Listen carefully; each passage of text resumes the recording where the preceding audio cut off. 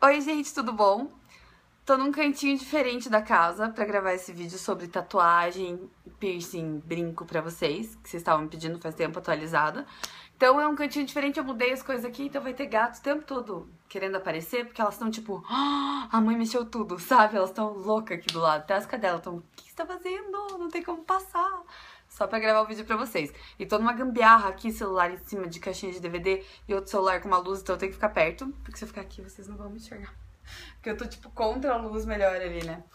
Então, tô aqui, cabelo novo. Essa semana vai ter vídeo sobre fotografia, que me pediram, porque não sabe, eu sou fotógrafa. E vai ter vídeo também do meu cabelo novo. Cortei, porque sim, gente, porque deu, deu muita vontade. E se encher o saco, vou raspar ainda. Não, brincadeira. É, bastante gente gostou, eu tô curtindo, tá melhor do que tava antes, porque não crescia cabelo, enfim. Agora tá com corte. Mas vai ter um vídeo só sobre isso, né? Depois a gente conversa. Parece que ainda tá escuro mesmo aqui. Enfim, espero que fique claro pra vocês aí. Me pedem faz tempo pra atualizar as tatuagens, então eu assisti o último vídeo pra ver o que, que eu tinha mostrado. Eu tinha mostrado até essa lua aqui e os do dedo. Aí, é, então eu resolvi gravar esse e aproveitar pra falar de uns furos novos que eu fiz aí. É tudo coisa pequena, mas vocês reparam porque vocês sabem os que eu tenho, vocês me conhecem, quem me acompanha, né? Então, mas no total eu tenho três tatuagens pra mostrar, tudo pequena, e quatro, cinco furos, seis, seis furos. Então, tem coisa, tudo pequenininho. Tá, vamos lá. É, lembrando que é um vídeo sobre tatuagem e piercing e que, né, se não gosta, gente, tem vídeos sobre outra coisa por aí, tá? É sobre esse vídeo é o que as minhas leitoras, as pessoas que me acompanham, os meus leitores, os amigos e as amigas me pediram. Então, não gosta, tem um xizinho em cima, ou aqui em cima, não sei. Mas quem gosta, vamos lá. É, da última vez, então, eu mostrei meu piercing no septo. E eu estou com ele pra dentro agora, que eu tô com uma, uma joia ferradura, que é aquela abertinha, normal, só tá virada pra dentro. Mas eu mostrei pra vocês em vídeo esse piercing, que era foi por causa dele que eu furei de volta, que eu queria esse piercing grandão aqui no septo. E usei bastante, toda vez que eu posto foto, mesmo tendo feito vídeo e post sobre, as pessoas perguntam, eu comprei com o Tiaguinho, é, no sítio cercado aqui em Curitiba, então quem tiver interesse, volta no vídeo último, que tá com a Alê, mostrando minhas tatuagens, piercing e tatuagem do Alê. Então, lá tem link, tem post no blog, eu falei tudo, tem, tá marcado no Instagram, todos os lugares tem os links do Tiaguinho pra vocês conferirem, tá? Então eu paguei tipo 80 reais, eu usei bastante, eu tirei um pouco só pra variar, porque eu tava com saudade dessa argolinha que eu ganhei de uma das amigas, que é dourada também. Mas tá aqui, tá pra dentro, depois é só trocar, é bem rapidinho. Quando, opa, onde é que eu vou com a mão? É, quando eu quero é só trocar. É, porque tá cicatrizadinho já, então não tem problema. É... Aí, me perguntam sempre desse, mas esse eu já tinha mostrado, né?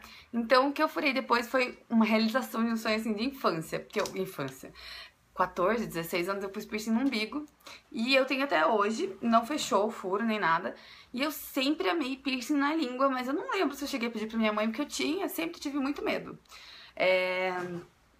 Até as pessoas acham engraçado, mas eu tenho medo mesmo. Eu, pra mim parece que a língua é muito grossa pra atravessar e que ia doer muito. E uma vez eu fui com a minha irmã e a body piercing, tipo, cagou assim, sabe? Tipo, ela disse que a minha irmã se mexeu, mas não, sabe? E ficou no meio da língua da minha irmã e foi, ai, amiga, ai meu Deus, ela vai morrer. Foi horrível. Aí então eu tinha muito medo, dobrado, assim, por mais que eu já tivesse feito mil coisas, o piercing na língua eu tinha medo. Por mais que eu também quisesse bifurcar a língua, eu morria de medo do piercing na língua. Eu acho que eu só não fiz isso até hoje, não bifurquei também, por medo. Então, algumas coisas é melhor eu ter medo, porque eu gosto de várias coisas, assim, que, né, é bem de impacto, assim, tipo, agora já é bem normal, na verdade, bifurcar a língua, mas enfim, eu sempre achei muito bonito, né? E não é todo mundo. Então, o piercing na língua era a mesma coisa, eu amava, mas eu tinha medo pela dor. Aí eu falei, quer saber? Vou colocar. E é tudo dourado, os meus piercing brinco, né? Então, eu fui no... O Thiaguinho não tinha joia dourada, eu ia ter que esperar. E vocês sabem que eu sou, tipo, pra ontem. Aí eu fui no Malta Tatu, que eu conheço o trabalho pela internet, eu nunca fiz tatuagem, com duas tatuadoras. Então eu fui por indicação de uma amiga e coloquei o piercing lá. Foi... Eu sentei na máquina e falei pra menina que eu tava com medo, de verdade. A menina olhou pra mim e deu risada, tipo, sério. Eu tava com medo e baixa minha pressão, às vezes, se eu tô muito nervosa, né? Mas foi, tipo, um segundo e não doeu nada. Eu tava tocando uma música que eu gostava até, meu amigo tava comigo pra, né, se eu morresse, qualquer coisa assim. Um segundo É... E logo em seguida, tipo, digamos assim, que tipo, eu acho que por eu ser muito tatuado, já ter piercing e tal, ela me pegou e falou assim: Ah, você não pode comer isso, você pode comer aquilo. Então eu cheguei meio vida louca, a gente saiu e foi comer e comer um negócio apimentado. Meu cu. Sério. Mas aí depois, tipo, o que indicam é mais caldinho e nada muito quente, nada muito apimentado. O que acontece? Na hora de furar não dói nada. Cicatriza muito rápido. Eu que fumo e bebo leva um pouquinho mais, mas em geral é uma semana, gente. É, o meu levou, tipo, quase duas para desinchar de vez. O único detalhe é que incha. E meu Deus, quando tá inchado, como é chato. Vocês não sabem. Mas é muito rápido. Uma semana é um tempo muito rápido pra uma cicatrização, né? Então, se você não bebe, não fuma, melhor ainda, cicatriza mais rápido. É. Então, saiu bem pouquinho sangue. E eu comecei a tomar água gelada e tal. Eu fiquei tentando ficar chupando gelo, assim, coisa assim. E de, logo em seguida cicatrizou e tá sus. E, tipo, nos primeiros momentos eu ficava assim. Ah, eu já tenho a língua levemente presa, digamos assim. Então, com o piercing, não sei se vocês assistiam os normais, mas eu parecia Vani quando levava anestesia na boca ou quando colocou o piercing na língua também. Eu falava piercing. Ah, vocês lembram? Tem vídeo aqui no canal, né? Quem assistiu. Do vitiligo, eu tô falando super assim. E a língua tava muito inchada e parecia que eu nunca ia me acostumar com o piercing na boca. Eu mordi ele várias vezes, isso é perigoso quebrar o dente. Parecia que eu nunca ia me adaptar com o negócio dentro da minha boca e agora tá tudo sus, tá? Então, pra quem me perguntou, não dói na hora de furar, mas incha pra cacete. Ela... Nossa, cacete. Cicatriza muito rápido, mas esse, esse inchaço é bem incômodo. E eu não sei se é minha joia, porque ela não é tão grande, eu não precisei trocar agora, não ficou, tipo, super sobrando depois que desinchou, sabe? Eu não sei se devia ter furado com uma joia um pouco maior. Porque a minha inchou até o limite da joia mesmo. Mas enfim, tá tudo certo. Eu acho que eu paguei o quê? Ai, eu não sei quanto eu paguei pra furar, gente. Desculpa, não vou lembrar.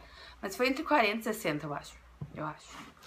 É lá no centro. Mas só se pesquisarem pelo nome do estúdio no Facebook. Mas acho que vou deixar os links aqui no post. No link aqui do box de informação tem o link do post. Daí vocês aproveitam e visitam o vlog. Daí lá vai estar o link do estúdio. É... Aí tá, fiz o piercing na língua. Só que eu acho que eu já tinha feito a tatuagem antes, mas enfim, vai, vamos pra tatuagem então. É, eu fui no. Eu postei tudo no Instagram, quem me acompanha, arroba Fercusma, já viu a maioria das coisas. Eu fui no O Look, eu não sei se, se é assim que pronuncia, mas O Look. Que eu tatuei com o Lucas, eu deixei ele marcado no Instagram logo que eu fiz também. O Lucas é um amorzinho. E eu fiz essas tatuagens, minha mãe me deu no Natal, então eu acho que foi antes do piercing na língua. Aqui, ó. É, eu ia fazer, eu tava em dúvida se eu fazia um grandão aqui, eu fazia dois pequenininhos, não sei o quê, e resolvi fazer assim. Gosto do negócio de ser simétrico, gosto de ser dentro da saboneteira. Eu achei que esteticamente ficou lindo, tudo que eu queria. E assim, ah, eu já vi gente falando, tipo, que é o símbolo da Louis Vuitton, né? Daquela marca. Não que eu use, não que eu compre tal, mas tem um monte de marca que eu acho lindo o símbolo, tipo da Chanel, eu acho maravilhoso tal. E uma vez eu vi um cara que fechou meio braço só com a estampa da Louis Vuitton. Tem gente que fala, nossa, que tosco. Ah, mas tem gente que tatua um tubo de cola, um cadeado e arranja um, um significado, na é verdade. Então, eu não julgo e eu achei super bonito. Eu talvez não tivesse tanta coragem, mas eu achei lindo do cara fazer o braço.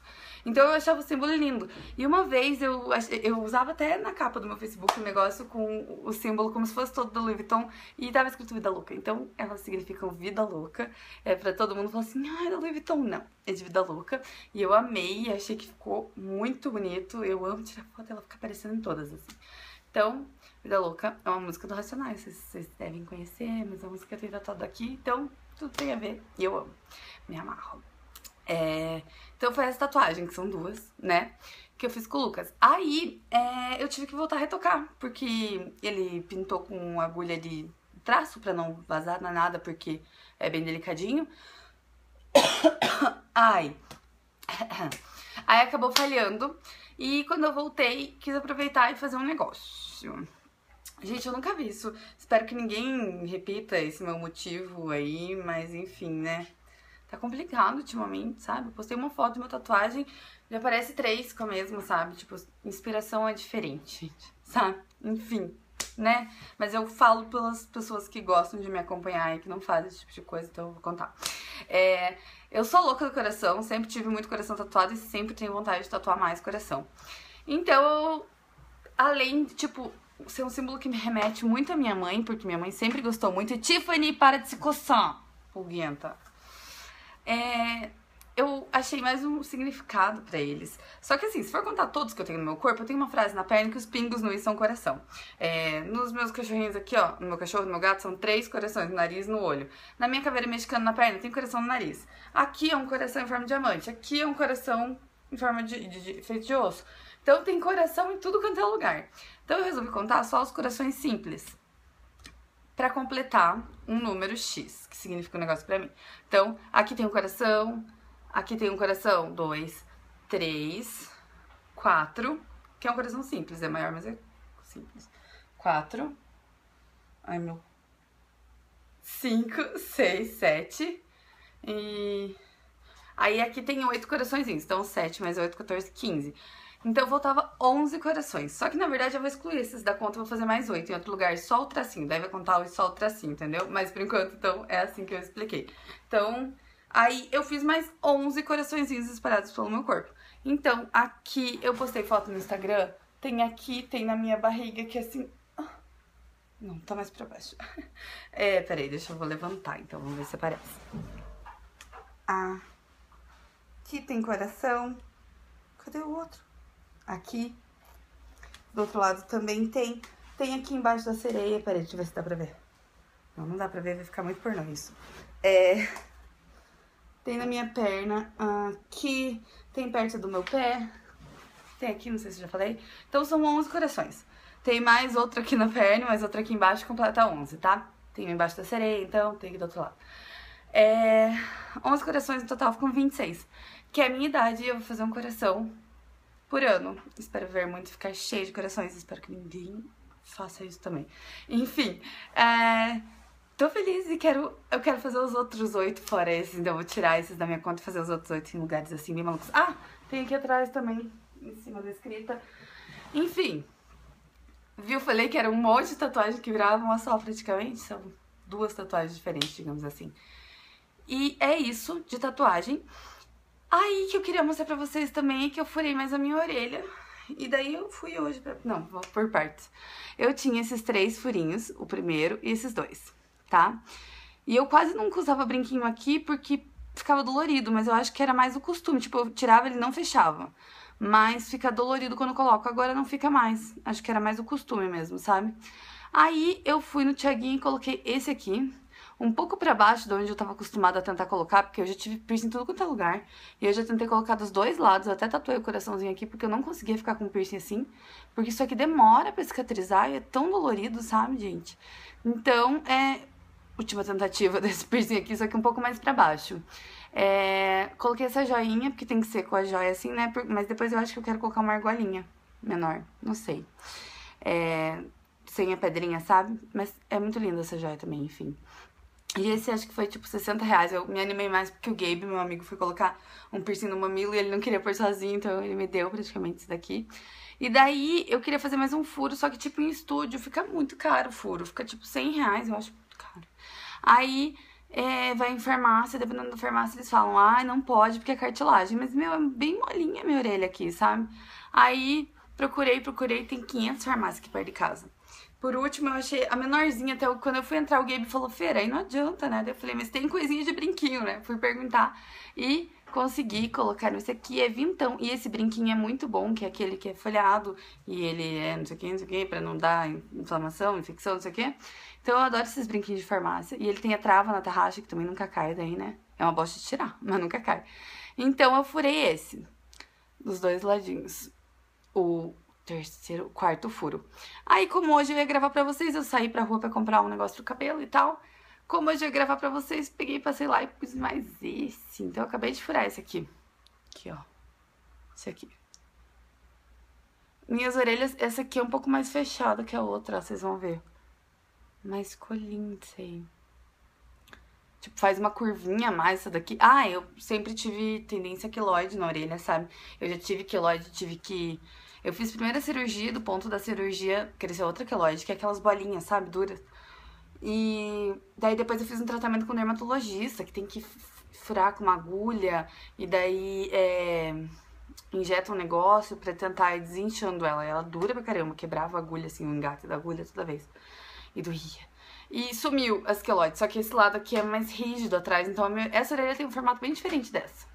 Mas, enfim, não tem nada a ver com o assunto, né? Agora tô com os meus brinquinhos, agora são um, dois, três, quatro, cinco. Cinco dos dois lados e esse sexto aqui.